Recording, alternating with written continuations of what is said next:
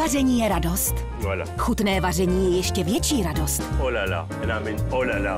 K tomu je třeba znát základy a vědět, co a jak. Vive la France. Oh. Raymond Blanc, šéf kuchař s Michelinskou hvězdou, nám nejen ukáže, ale také vysvětlí, jaké je tajemství takových technik, jako jsou pomalé vaření, dušení, pečení s tukem nebo grilování. Raymond Blanc, jak dobře vařit. Na TV Paprika.